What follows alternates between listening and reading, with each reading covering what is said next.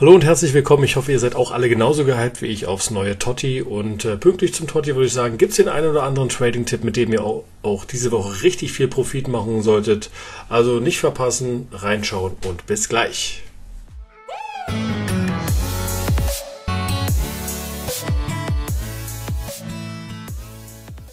Ja, da würde ich sagen, auf geht's. Und zwar habe ich heute drei Trading-Tipps für euch mitgebracht. Eine Sache kommt noch dazu, also so in Klammern vier könnte man vielleicht noch sagen. Ähm, etwas riskanter, aber ich würde sagen, wir starten direkt rein mit der ersten Sache. Ja, starten wir auch direkt rein mit dem ersten Trading-Tipp. Und zwar geht es um Halloween-Karten. Und äh, hier der gute Sarko 28.000 Coins. Aktuell, vielleicht könnt ihr ihn noch etwas günstiger erbieten, müsst ihr mal schauen.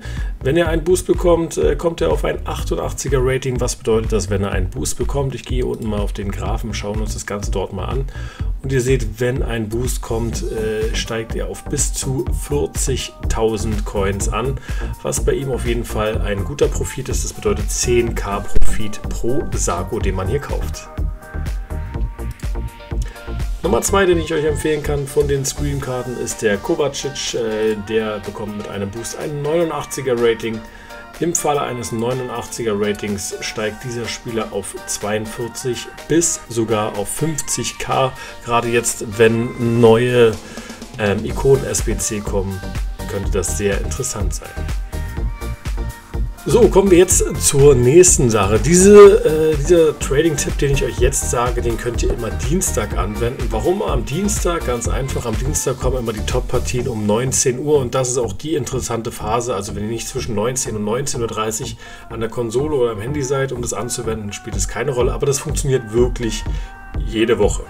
Wir gehen einmal rein. Ich zeige euch jetzt, ich würde sagen, ich zeige euch, sagen wir, vier Spieler, wo ich denke, bei denen könnte das auf jeden Fall klappen. Bei mir hat es bei einigen Spielern ähm, letztes Mal funktioniert. Ich, ich habe da auch auf Twitter eine Kleinigkeit zu geschrieben, also einfach unter der Beschreibung mal auf Twitter nachschauen. Da habe ich den Spieler auch gezeigt, bei dem es geklappt hat. Ich glaube, das müsste sogar der, den ich, ja, fangen wir mal mit dem an. Der müsste das sogar sein. So, dieser Spieler hier Kostet 5000 Coins. Ich glaube, der könnte aktuell bei 4, 5 liegen oder so, wenn ich mich nicht ganz irre.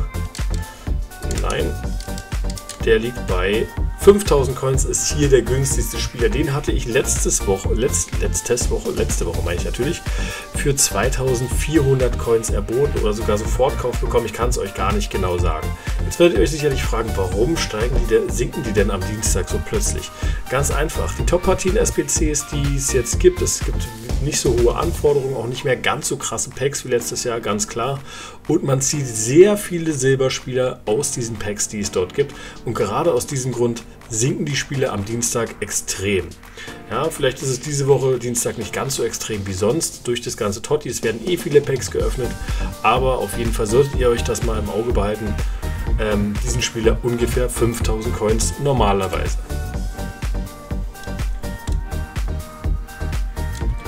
So, Spieler Nummer 2, Letchard.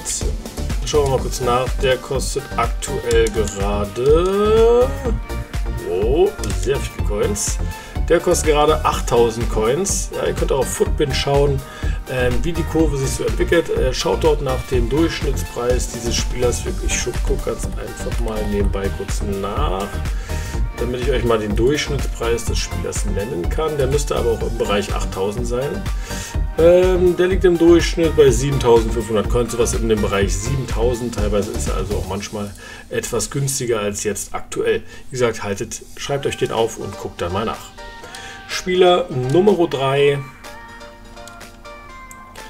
GAS Wer jetzt nicht ganz versteht, warum diese Spieler und wieso, weshalb und was das Ganze hier soll, und zwar werden diese Spieler für SBCs benötigt. Ja, mit diesen Spielern macht man SBCs hier. MLS-Liga ist der hier zum Beispiel. Der Letschert, habe ich jetzt gerade ganz vergessen, wo der war. Ich glaube, in Italien spielt er irgendwo. Genau, in Italien müsste es sein. Der liegt jetzt bei 6000 Coins. Wie gesagt, man kann teilweise bis zu 100% mit den einzelnen Spielern hier tatsächlich machen.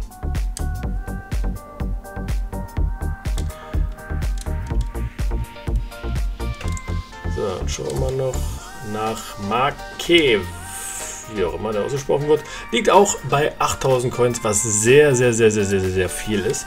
Jetzt gerade am Sonntag sind die vor dem Totti vielleicht auch nochmal noch mal etwas teurer als sonst, weil jetzt einige die SBCs noch machen, in denen man gute Packs ziehen kann. Aber wie gesagt, auch das ein Spieler, der interessant werden könnte, der vielleicht, vielleicht auch, vielleicht, vielleicht auch für 4000 Coins zu haben sind, ist. Wenn diese Spieler nicht zutreffen, guckt auf Football einfach nach anderen relativ teuren Silberspielern und schaut, wer könnte für, ist für eine Liga SBC interessant und äh, da passt das auf jeden Fall.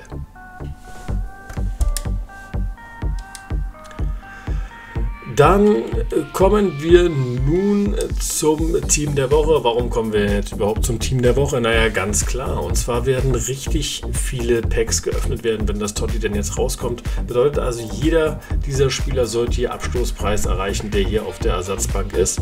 Von der Ersatzbank hier werde ich mir auf jeden Fall jeden Spieler einmal mitnehmen und in den Verein tun. Das empfehle ich euch auch. Das sind also hier, wenn wir 10.000 Coins pro Spieler rechnen, 2 4, 6, 8, 10, 12, 120.000 Coins, die wir schon mal alleine diese Spieler investieren können und könnten am Ende, weiß ich nicht, so 150, 160, 180.000 Coins vielleicht rauskriegen, vielleicht sogar bei dem einen oder anderen noch mehr. Ja, die packt ihr einfach in euren Verein und dann lasst ihr sie dort liegen. Das ist ein etwas längeres Investment. Ähm, auch hier von der Startelf werde ich äh, mir alle Spieler einmal mitnehmen, außer vielleicht den guten Bale, der wird vielleicht zu teuer sein und die Mobile, aber der Rest sollte sehr stark in den Keller gehen. Äh, wenn wir jetzt hier mal auf Roberto gehen, ein 84er Spieler, der könnte im Bereich äh, 15.000 Coins ungefähr liegen, wenn wir Glück haben. Das wäre auf jeden Fall sehr günstig. Kulibali sollte runtergehen, auch der interessant. Ähm, der auch Abstoßpreis, der Linksverteidiger ebenfalls Abstoßpreis, ZDM ebenfalls. Ähm, Brahimi ist ein 86er Spieler, 86er Informspieler, sollte auch sehr, sehr günstig werden. Wie viel genau will ich jetzt nicht mutmaßen, keine Ahnung. Vielleicht irgendwie Anfang 2022 24.000 Coins, das wäre auf jeden Fall sehr geil. Können wir den mitnehmen. Das gleiche gilt für Bas Dost der ja jetzt schon bei 28.000, 29.000 liegt, also wenn der im Bereich 20.000 liegt, wäre das auf jeden Fall perfekt. Sollten wir zuschauen. Kommen wir jetzt zum letzten Thema. Also wir haben jetzt drei Sachen äh, genannt. Das sind einmal die Screenkarten, ja, das sind einmal die Silberspieler, die wirklich am Dienstag funktionieren und dann das aktuelle Team der Woche, wo ich jeden Spieler einmal mitnehmen werde. Ähm, es werden diverse Promo-Packs kommen, die Spieler werden ziemlich stark sinken. Das müsst ihr jetzt nicht unbedingt am Montag um 19 Uhr machen oder sowas, sondern ihr könnt auch warten am Dienstag und so weiter, wenn da wieder Promo-Packs kommen und dann die Spieler dann eben kaufen. Wie gesagt, jetzt kommt das äh, vierte und letzte Thema und zwar geht es um Valencia und De Gea. Ja, schauen wir hier mal ganz kurz rein. Valencia, da ist er. Den gibt es relativ selten auf dem Markt. Es gibt von ihm, glaube ich, auch nur, ja, jetzt gibt es gerade, ja, sagen wir mal, es gibt zwei Seiten.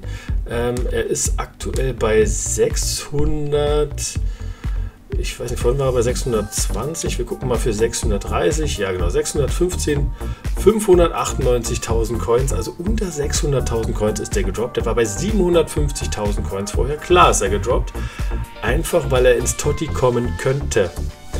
Also für mich ist es, dass er ins Totti kommt, eher unwahrscheinlich, weil die Leistung nicht ganz so krass ist. Da gab es den Kimmich, der zum Beispiel deutlich besser war, oder auch den Dani Alves. Beide waren besser ob es kommt. Deswegen so ein kleines Risikoinvestment. Ja? Zum einen kommt Valencia, wird der Totti extrem teuer sein und dann werden wieder doch einige auf den Inform umschwenken. Ähm, das heißt, das könnte da, da, dadurch der Preis wieder steigen. Oder kommt Valencia nicht, wird der Inform Valencia wahrscheinlich steigen. Ähm, weil er einfach ein krasser Spieler aus der, also der beste Rechtsverteidiger eigentlich der Liga ist. Ja, so meine Herangehensweise an die Sache. Ihr könnt auch gerne in die Kommentare schreiben, was ihr dazu denkt. Ist ja kein safes Investment, sondern ein bisschen risikobehaftet.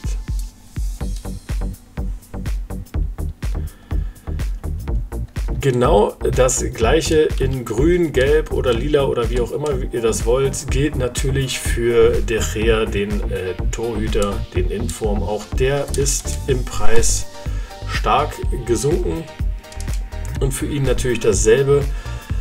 Ähm, wenn er einen Totti bekommt, was sehr wahrscheinlich ist, kann sein, dass der so extrem teuer ist, dass doch einige auf den Inform wieder umschwenken und dadurch der Preis wieder steigen könnte.